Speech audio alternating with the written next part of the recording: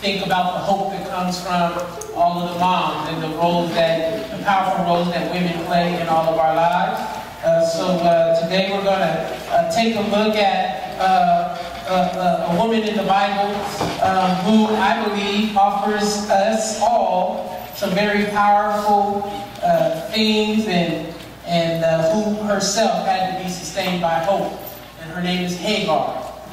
she is woman who uh, was uh, sold uh, into slavery or at least in, at, into servitude. It was not the kind of chattel slavery we think of today, but uh, she was uh, given to Abraham and Sarai or Sarah as a servant. She was from Egypt, so her presence there in the kind of Mediterranean part of the world back in that space and time was, was one of a woman of African descent. Certainly, uh, most of us uh, who are students of the Bible history know that uh, more than likely many, many of uh, the folks in, in the uh, region of the Mediterranean were dark-skinned folk by phenotype. Uh, certainly, people had all kinds of different uh, countries of origin. This particular woman, Hagar, was from uh, the country uh, in the land of Egypt. I'm reading from the New Revised Standard Version. Uh, so Genesis chapter 21, verse number 9 is where we'll start. Um, it's on the screen. You can follow along, certainly, in uh, the text with us. And the Word of God says this. One day, Sarah, who was the wife of Abraham. Now, maybe I should give you a little bit more background. Some of y'all may not know uh, significance of Sarah and Abraham. Abraham uh, was uh, this uh, uh, just, just a regular guy that God met and called uh, out of the land of Ur. And he told him that I'm just going to bless you. God just picked him and said, I'm going to bless you and I'm going to bless your family. And you all going, through you, the whole earth is going to be blessed. And uh, Abraham was an old man when God first called him. And uh, he had a wife, and her name was Sarai, or uh, Sarah. And uh, uh, she was not able to produce children, or Abraham was not able to produce children. You know, back in the day, in the scriptures, you know, there was this kind of sense that if women could not produce children, it was uh, often due to some kind of physiological uh, deficiency in their body. Um, and yet we know, the more we study history, that uh, sometimes it wasn't about the woman, it was about the man. He was shooting blanks, uh, so to speak. Uh, and he was not able uh, to, to produce any children. So, you know, we don't necessarily know exactly what was going on. We just know there was no kids. Amen? Um, but in this particular story, we certainly see that uh, Abraham and Sarah uh, engaged by God, and yet God chose them to be two people through which the whole earth would be blessed. And God told them He was going to make them a great people. And God told them this promise while they were old without the ability to have any children. And ain't that like God to tell you something so ridiculous? Amen. You just got God. Had you feel like God told you something? It's not like God. I don't know what you're talking about. At least you maybe didn't say it, because very few of us feel comfortable saying that to God. Amen. but we think it. Anybody ever thought it? Like God, I don't know. All right, thank God for those four or five honest women here in church on Mother's Day. Praise God.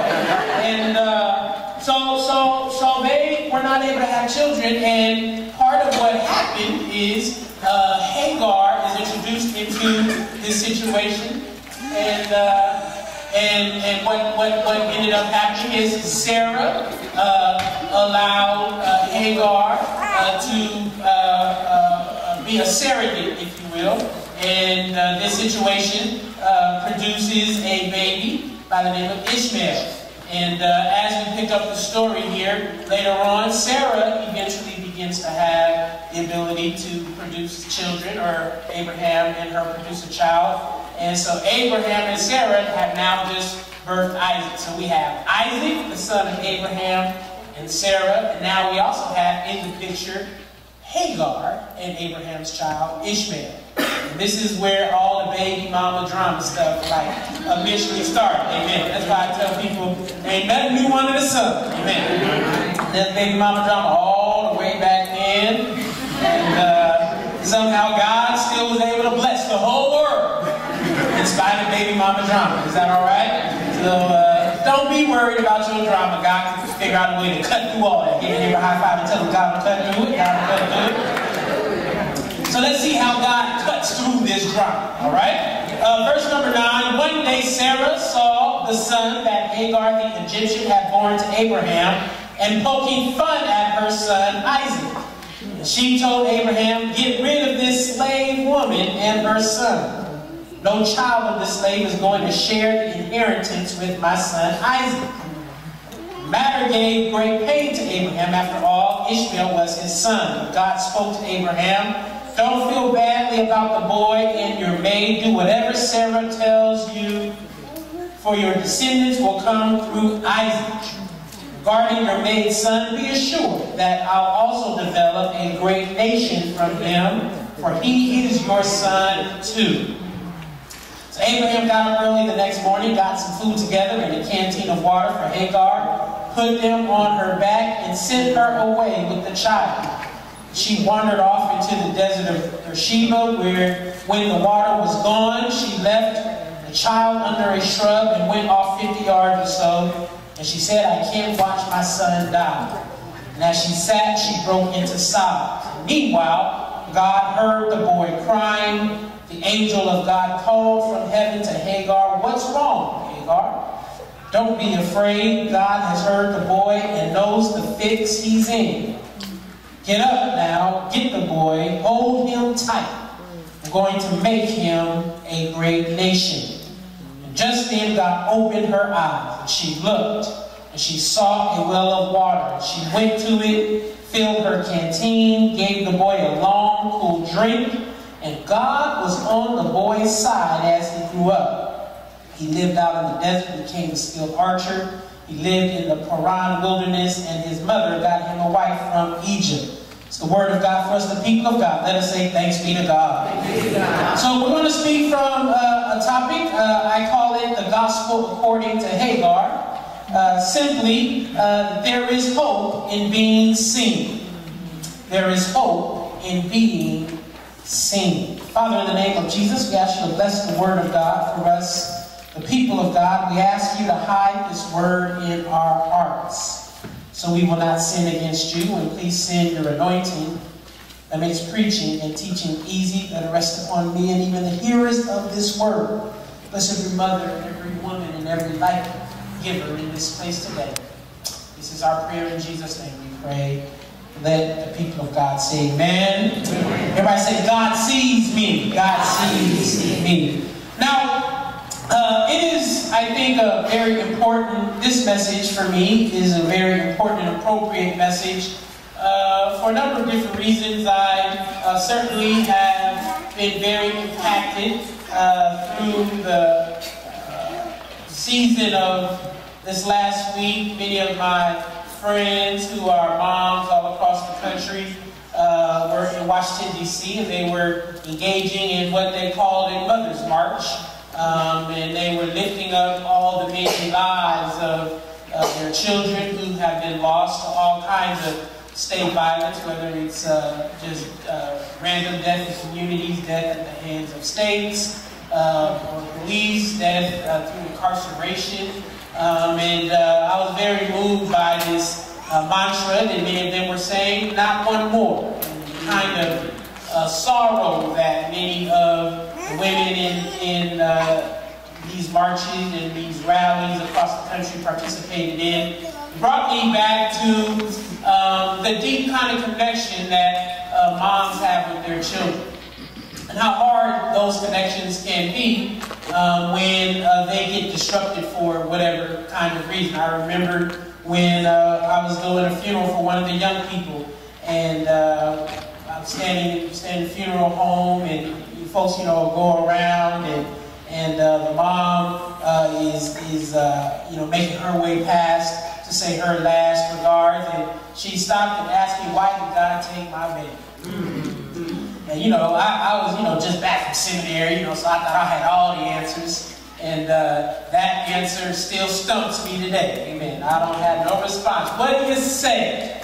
Amen. To a, a mom who is in distress, to someone who has suffered loss. And it's not just the loss of life, but how many of you know uh, even the threat itself can be so anguish filled that you and I, uh, least me and all my male counterparts, my male homies, uh, we, we, we, we, we say we understand, but we don't.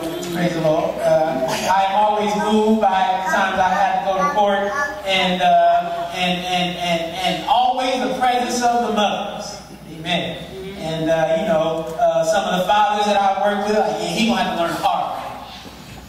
So, uh, you know, uh, I hope he figured that out. Moms, even as they say that, they still right there.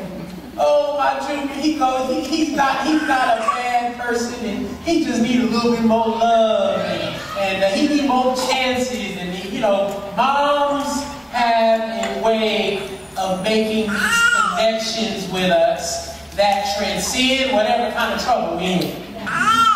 And it is, you know, such a powerful connection. I, I, I, recall again when I was in Washington, D.C., the week that the Newtown shooting happened. We were all in some meetings. We were doing some training. It was the middle of the day, and uh, it was, uh, I was there with a number of mothers who had lost their children to gun violence. Um, a couple of them were from uh, Virginia during the Virginia Tech mass shooting. Some were there from Denver, Colorado during those shootings. And when they announced the Newtown shooting, as it started to unfold, we were in a session doing some training on how to message around uh, the moral imperatives related to gun violence. And I, uh, again, was deeply impacted by the way many of the mothers had to relive these pains and these challenges and the fears that they had. And it just causes me to always remember that uh, the uniqueness of moms and people who play these roles in our lives is more than just a connection of, uh, of, of, of emotion, but it is a connection related to the giving of life. That moms have this ability, there all of us are here, because they are able to give life.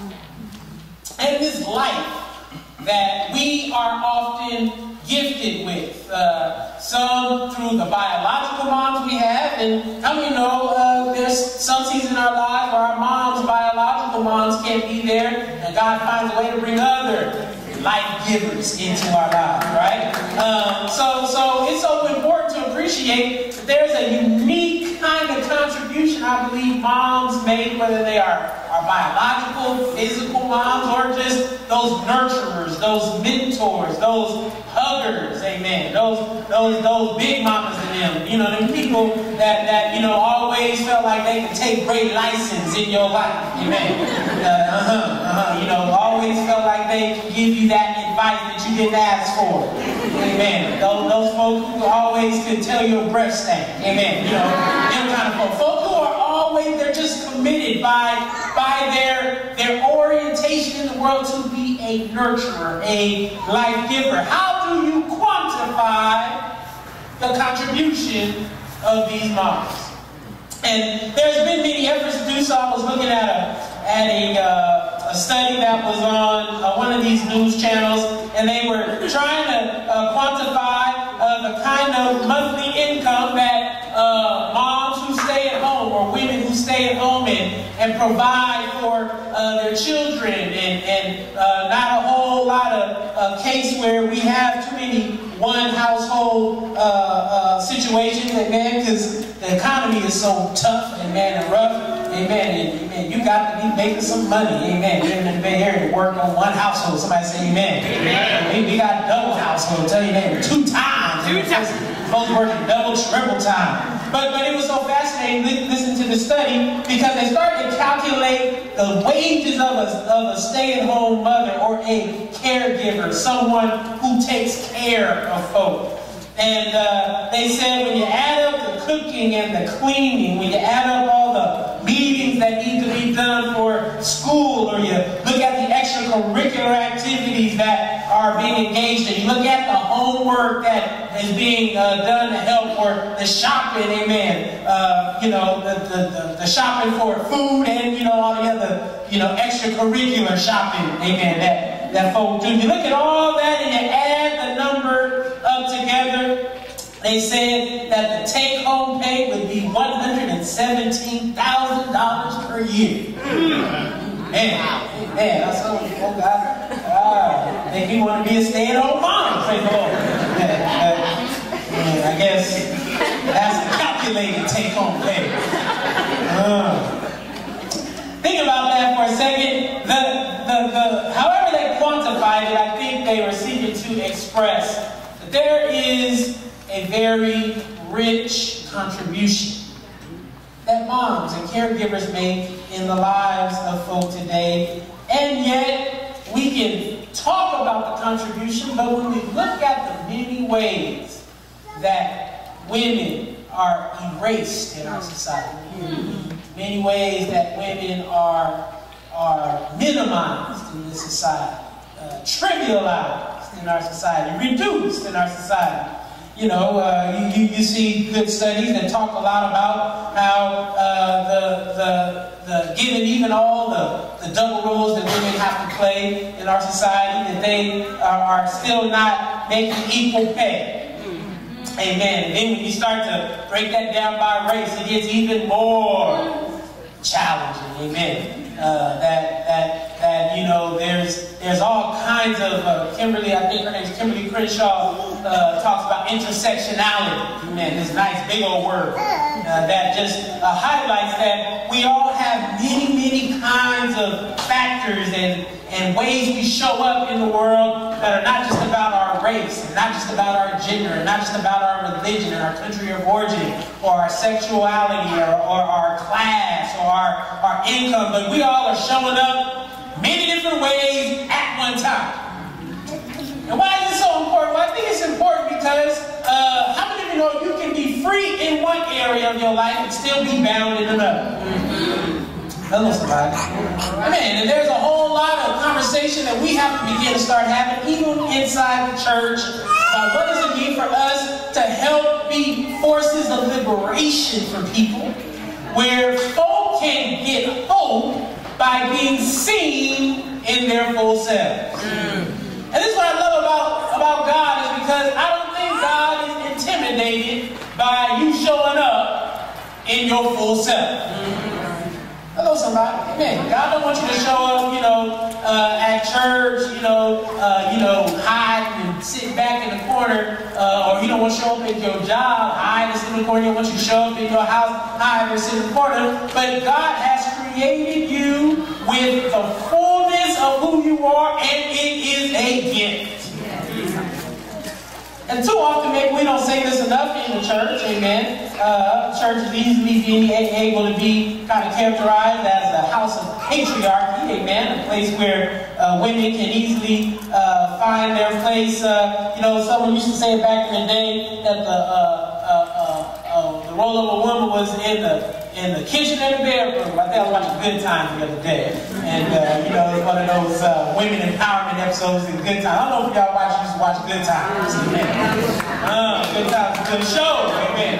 If you think about it, now, you know, I didn't appreciate growing up, but it was a very much a social justice show. They talked about a lot of issues on Good Times. Like had all Norman Lear did a great job. I remember one of the episodes, uh, you know, uh, Florida and Willona and went to one of those uh, uh, women empowerment groups, and she came home, and you know there was a uh, James was home, and he was with his boys, and they got him all gassed up, and you know they started arguing, and he went there, right? He said, you know, Florida's only one place where it wouldn't belong. He's like, don't say it, James, don't say it, James. Get in the bedroom, Florida, get in the bedroom, and then they all start going on. Of course, they resolved it well. He repented, and she hugged, and you know the way they solve a problem on good times. Don't you wish it was that easy in real life, amen? Brothers, don't say that to the sisters today. Let me tell you, it ain't gonna be no easy hug resolution, amen. You may be, your place may be in the living room and the basement, amen. Yeah. But, but this idea, right, that these kinds of roles are often reinforced to us. We learn this, we pick up these kinds of things, and why do we need to hear these messages of hope coming from the Word of God is because they are often intended to unravel some of these lies that are fed to us as the truth. Mm-hmm. Now, it's always important to appreciate, amen, that every society creates and, and has roles that people feel, and, and, and there's nothing wrong with roles, complementary roles, and yet at the same time, how many, many of us know that there's also always space for conversation and negotiation? And you as a woman, as a mom, the life giver, someone told me I, I was in one of these meetings and they said, you know, if you kill a, a, a, a male, you, uh, you, you, you take a, a, a single person. But if you kill a woman, you take a whole civilization. Right? That, that as much as I hope I can be productive, amen, I'm not reproducing nothing. Amen. Ain't no babies coming out of nowhere. It's the will of God for my life. And I I remember the two babies my wife was able to give to us. Amen. And I watched how she did the first one with, you know, a little bit of medicine and the second one without any medicine. Amen. And she was just a wonderful, wonderful gift from God. Amen. And I thank God because I couldn't do it. Amen. I'd just be like, uh, no, no. The gift of It is a part of their nature, the way that they are formed and created by God. And yet, even in the midst of all of this uniqueness, the world can actually put all kinds of burdens and pressures to erase, efface, marginalize, minimize, reduce moms and women. And I'm here to tell you today that uh, we need you as the mother and the women in our lives to be brimming with hope. Amen. If nobody ever tells you you are fearfully and wonderfully made, I want you to know your pastor, your church, and everybody in this place believe you are the bomb diggity. Amen. You know, just, just, just, just, just find you a, a sister next to you behind you, a high five and tell them oh, you the bomb, you the bomb. That, that's the that's the 21st century translation of you have been fearfully and wonderfully made. Ain't nothing but you the bomb, all right? And and and when you this about yourself, how many know you can live your life with a different level of confidence and clarity? When you know that you've been created for a unique purpose and a time and a season, I mean, even when trouble and trial comes, uh, you don't allow the trouble and trial to overwhelm you or even deter you. But you can always remember that you have been created just by you being a woman, a great gift from the Almighty God. That your gender is a gift. Who you are is a gift. And yet, because we live in a fallen world, people may not always see that gift. And people who don't see your gift will often create all kinds of challenges for you and I that we have to then push through in order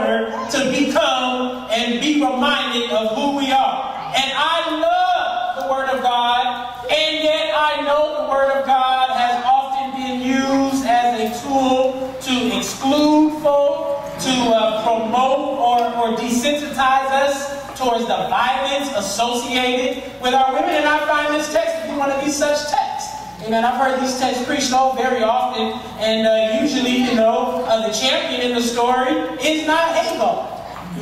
You get this text, the champion of the story is Sarah, the champion of the story is Abraham, who, who and it's funny, uh, we gonna we gonna talk about the brothers on Father's Day, praise the Lord. It's not gonna be a beat you up message.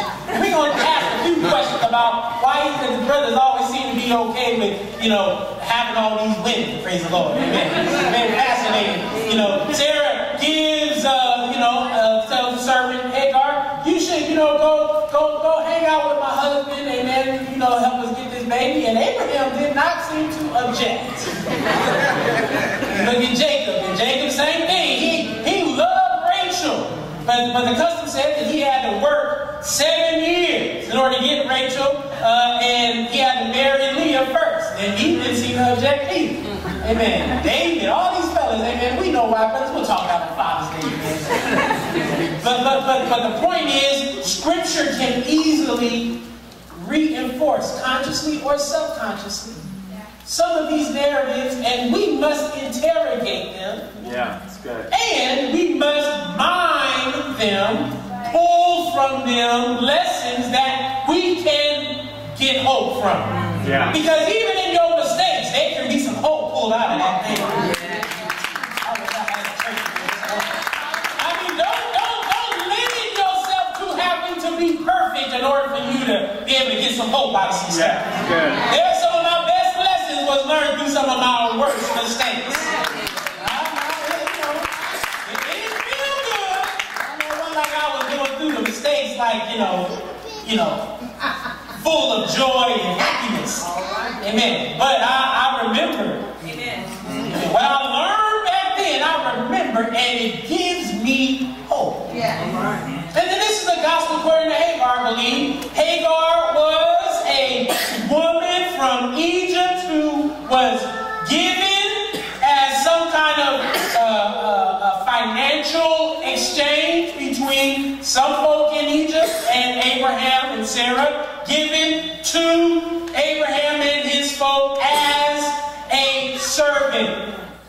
And there's all kind of politics, family politics, and law going on in there. So these were normative things, necessarily not uh, oppressive in, in, a, in a very strict sense, although we see that uh, uh, Hagar's name means stranger. Hagar's name uh, denotes that she was uh, not welcome in the house of Abraham. She was an outsider. Hagar represents all the women and even some, some men, arguably, in the Bible who are excluded or despised. And, and, and, and, and, and Hagar, even within the, the, the, the, the familial network, um, was even representative of Sarah. Because uh, Sarah was not necessarily in the in the ancient world because she was barren, known to be barren. She herself would have been excluded as well. Let's think about this for a second, right? You have Hagar, a servant woman from another country, living in the house of someone who uh, always reminds her that she is excluded by the very one considered excluded because she can't produce no life either. This is the way systems and structures can work in our lives and we can reinforce oppression. You understand? Reinforce things that we ourselves don't want to be known by. That's why God comes to set us free. And, and brothers and sisters, understand, as long as you are living, you need to be set free. Don't, don't, don't, don't, don't, don't you get so sanctified and holified. Amen. That you think you don't need to be free from something. Amen. All of us need some freedom. I, I can take a little dose of freedom right now. Somebody shout hallelujah. Hagar, even in the midst of all of this, she was never fully accepted into the tribe of Abraham, even though she produced the only son that Abraham had at the time. And once she was let go, you go up to chapter number 16, she ran away from the house of Abraham and Sarah. Sarah, you know, went bad on her. And scripture says that she was trying to make her way back to Egypt. Now want you to think about the riskiness of, of, of what she was trying to do. Possibly a really young teenager, at least early 20s, making a trip back to Egypt all by herself because she was so excluded from her community. Just, just absorbing all the different things that Hagar had to overcome. Even though she was someone that God created. Someone that God fashioned and shaped in, in the womb of her mom just as much as Abraham and Sarah. Mm. And I am very much aware that even in this moment we're living in right now, uh, there's so much exclusion going on in our communities and in our country. A lot of it, particularly as we're talking about the issues of, of uh, Black Lives Matter and, and the, the, plight of people of color, women of color, we're seeing all many ways that, that women of all racial backgrounds are easily being marginalized. Even in our movement, you know, uh, we've been trying to keep alive the names of not just the young men and older men who have been killed by police violence, but also the women as well. And how their lives are not necessarily getting any measure of justice. They are regarded as even more disposable. Uh, a young woman, I was in Chicago a couple weeks ago, and, and Rekia Boyd, a, a, young woman from Chicago who was killed by a police officer, and, and they did her trial, and, and they ended up throwing her trial out, mm. and letting the officer go home, and they did a rally for Rekia Boyd in a few places, and, and barely anybody showed up. Mm. And some of my friends, again, who were leading that were just so distraught. They were like, so is it that when, when the lives of women of color or other women are lost, no one shows up to mourn and to protest and to, and to lift up our voices as a way of, of, of, of, saying that their lives matter. And then the next week, all, of course, all the stuff happened in Baltimore. And of course, we know we saw what happened in Baltimore.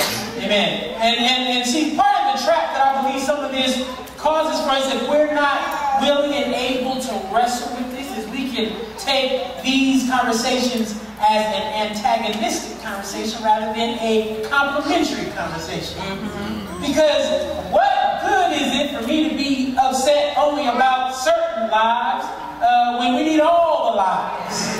Amen. I don't know about you, but I would not want to live in a world with just some men. Uh, and fellas, amen, I, I, I, I, I, I need to see some sisters from time to time. Amen, amen, amen, amen. We, I, I, you know, man, I love the fellas. Amen. We, we have a good time, watch sports and all this stuff, but sometimes, you know, I just want to be able Amen.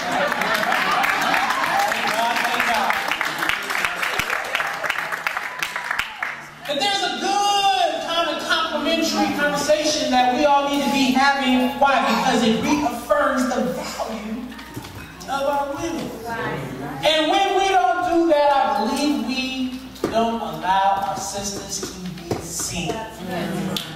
And no matter your racial background, black, white, Latino, Asian, polka dot, Native American, stripes, wherever you are, I need our sisters to be seen. I want you to be seen. I want you to feel valued.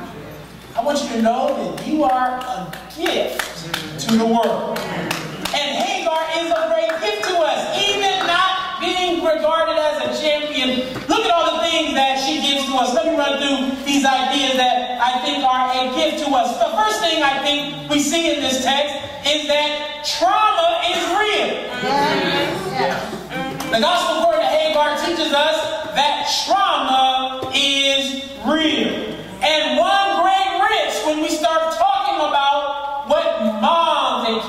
caregivers and life givers and women have to endure is we will often minimize trauma. Mm. We will make folks feel like, well, why are you making such a big deal? You ever told you that? You make such a big deal out of this stuff. Man, just come on now. Just go along and get along. People try to silence your own voice when you're speaking up the trauma and the pain that you feel. And then you'll get these, these, these, these interesting words out. Michelle Obama was doing an interview this week and she talked about the challenges she had to face as the first African American First Lady. And she said throughout the campaign, she was having to carry this kind of awareness that she had to respond a certain way. She would be characterized as an angry black woman right? She would have to, she would have to make sure that, you know, she didn't do certain gestures. right. Why? Not realizing that some of that stuff is secondary trauma. Not to mention the primary trauma that some of our sisters have to go through. Amen. Where, you know, uh, uh, many of them, of you, of us, of our, our loved ones, uh, research says that one out of every three women will find themselves in their lives subjected to some kind of physical trauma. Think about this for a second, right? That all of us in this place will be impacted by the trauma of the women in our lives. And you and I, we have to be mindful of that. Why? So we can be agents of healing mm-hmm. in each other's lives. We can't help folks heal if we don't first acknowledge there's some trauma. Hello, somebody. understand, hurting people hurt other people. So part of why we also need to acknowledge some of this trauma in our lives is so we can be healed, so we don't repeat some of the trauma that we ourselves know is a problem. One of the first, one of the first uh, couple slides that we have up here, uh, it says healing doesn't mean the damage never existed. It means the damage no longer controls our lives. And we are like to be people who are willing and able to advocate for the healing of our body, our soul, and our mind. You will have a whole lot of trauma. Here in this story, you see that the trauma that was put upon uh, Hagar was was was was was initiated by Sarah. Uh, you know, I, I grew up with a whole lot of uh, female friends, and, and you know, something like I like to hang out with guys more than, than the sisters sometimes, because the sisters be hating on me. That's what one of my friends saying, you know. And they talk about, you know, sisters sometimes be pretty rough with each other. You know, a little drama that, you know, some, some of, the, some of the, the, the, ladies can have one with another. And, and I found it fascinating in this story uh, how Sarah was the primary agent of, of Hagar's trauma. Sarah drove Hagar out of the house. Sarah, in many ways, uh, uh, minimized Sarah's, you know, personhood.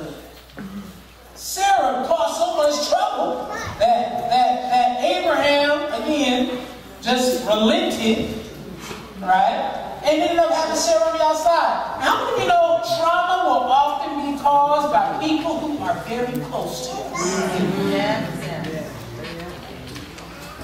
You know, it ain't like all the time. We gonna have some some just random trauma from strangers and people we don't know. But some of the worst pain we will feel will be from people who are in close proximity to us. And God wants you to learn how to acknowledge this trauma and pain so you can be healed from it. Don't walk in denial, you know. I know sometimes working through the trauma associated by intimate relationships can be very painful. And some of us will avoid it at all costs. Hello, somebody.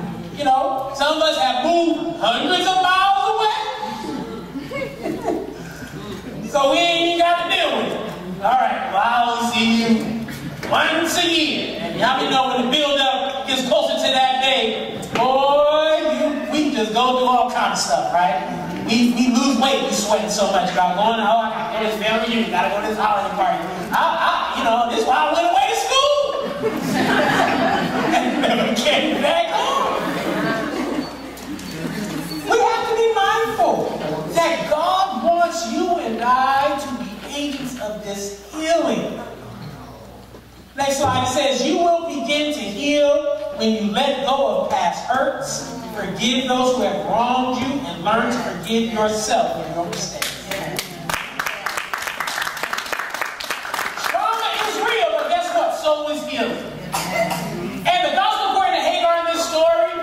that she had real challenges and real problems caused by people who were closest to her, but she did not allow her whole life to be limited by that trauma and that pain. And that's a good lesson for all of us to learn today. You as a human being are going to experience some hardship, but don't let it be the thing that defines your whole life. But ask God for some healing uh, in this place. Pat yourself on the chest and say, I need some healing, I need some healing, I need some healing. The second thing that the scripture lifts up that I find to be super life-giving is that it reminds you and I, particularly all of our women and sisters in the house, that you are worthy. The gospel according to Hagar is a reminder to all of us that even in spite of your trauma, you are worthy.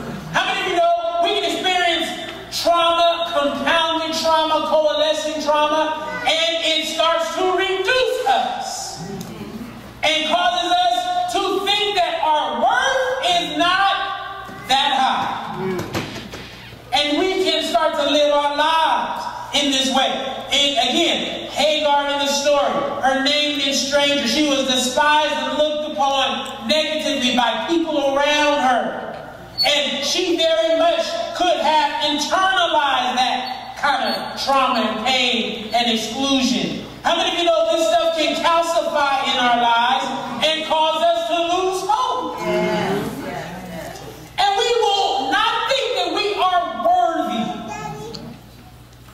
This is what I love about the gospel according to Hagar. Because you see that even through all of the negativity of what she was going through, God still was able to be present in her life in such a way where He reminded her that she was worthy. Lord, help me today. Help us to be people and agents of God where we can remind one another, remind our, our women, our moms, our caregivers, our life givers that you are worthy. In a world that would seek to reduce you, you are worthy. In a world that would seek to minimize you, you are worthy.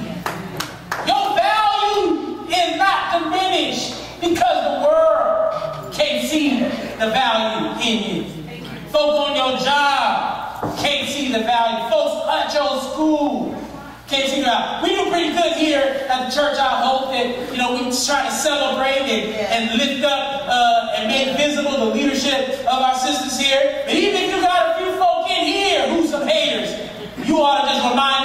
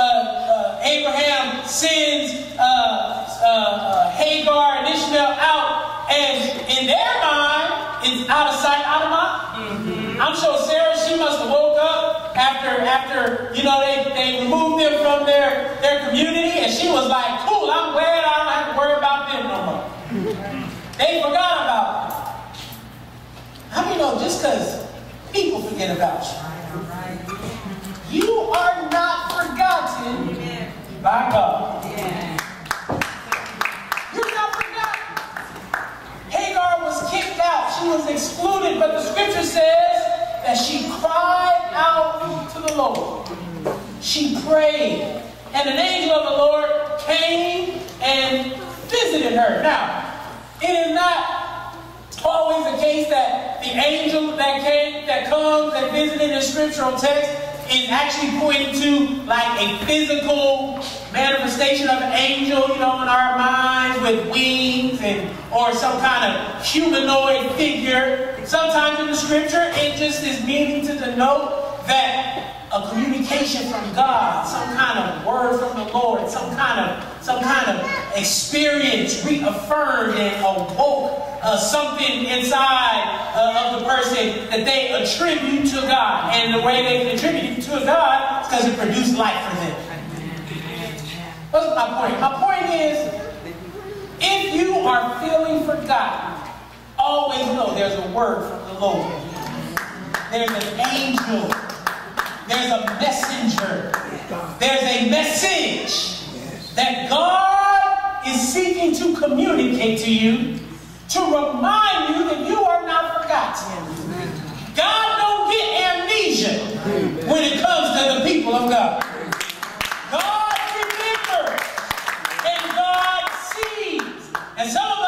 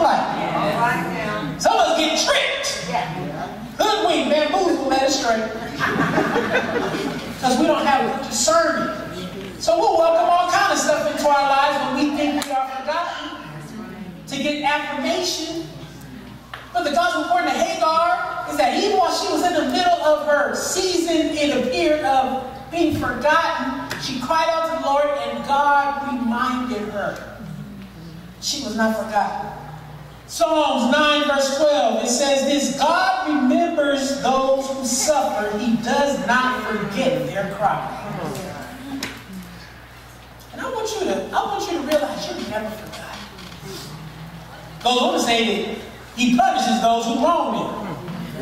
You better make sure you, you, you're on the right side of that equation. I would hate to be punished by God. Mm. It was Jonathan Edwards talked about, he preached a sermon back in the 1800s during the revival period, and it was called uh, Falling into the Hands of an Angry God. That thing sh- shivers in my spine too. I said, Lord, don't let me be on the punishing side of your relationship.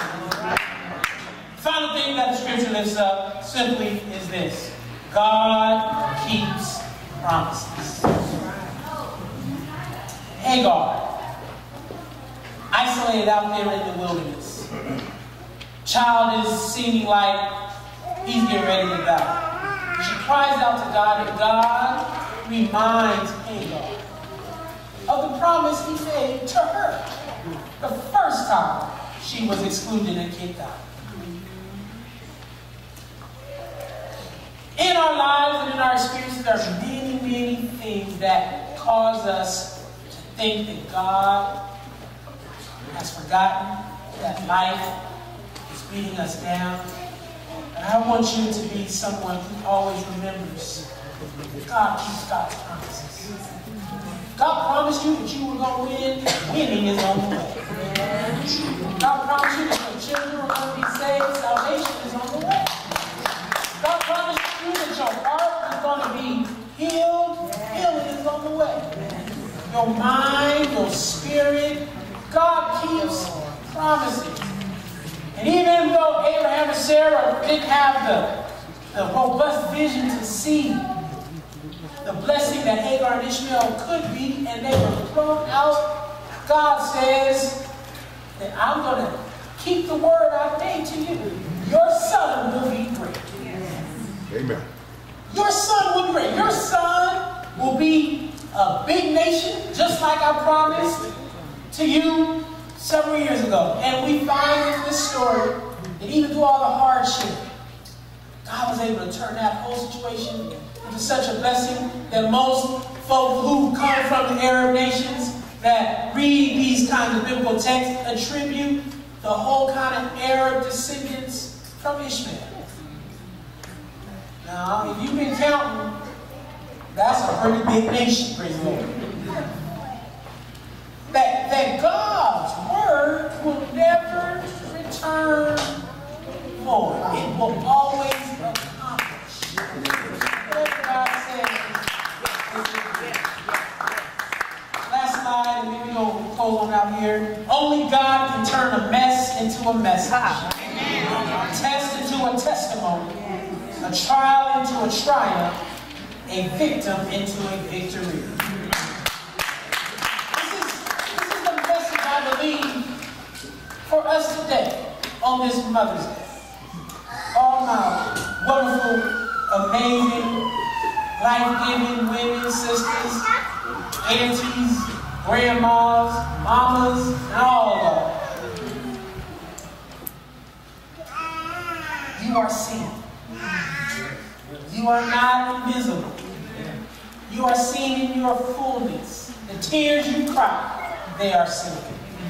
The pains you have, they are seen. The joy, the love, you are visible, you are seen. And because you are seen, not just by us, but by God, you always got some hope. And I need y'all to have some hope, because I'm going to need some hope from y'all one day. Hello, somebody. I will, we, all us fellas and all us who depend on this life-giving hope that's inside of y'all, we need you to be filled with some hope. We got some ATM cards, amen. And we always gonna be trying to draw from y'all to help us keep moving. I love the biblical uh, story of Mary. My mom was like this in my life. Scripture says that uh, Jesus, as he was growing up, that Mary remembered and pondered all these things in her heart. All the words that were spoken over the life of Jesus. All the experiences that Jesus had. And Mary, I believe, was one of those hope-giving stations for Jesus as he navigated through his life. My mom was like that for, for me, I'm sure for all of us. Amen. We all had all these nice things that people would say. And my mom was one of those folks who just always remind us we are better than who we were at that moment. Reminded us of the God-given assignment that was in our lives. Always gave us hope. Always gave us the ability to see beyond the limitations of our own fallenness and challenges and struggles. People like my mom, all these, these women, uh, my, my pastor's wife down in San Jose, uh, uh, Janice Days. I thank God that God places to remind me, to ponder this stuff in their heart. My sisters, I want you to know that this is the uniqueness and the gift that you have and you bring to the world. On this Mother's Day, if you are a mom, if you are a caregiver, a life giver, if anyone draws any kind of hope and life in your life, we want to honor and say thank you. God honors you today. Happy Mother's Day. Let's stand up.